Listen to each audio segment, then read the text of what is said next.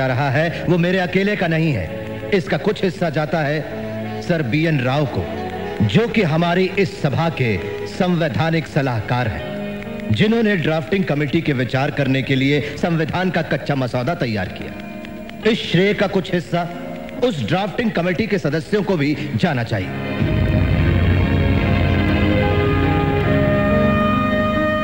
यहाँ पर संविधान की अच्छाइयाँ गिनाने नहीं जाऊँगा, क्योंकि मुझे लगता है कि संविधान कितना भी अच्छा क्यों ना हो, वो अंततः बुरा साबित होगा, अगर उसे इस्तेमाल में लाने वाले लोग बुरे होंगे।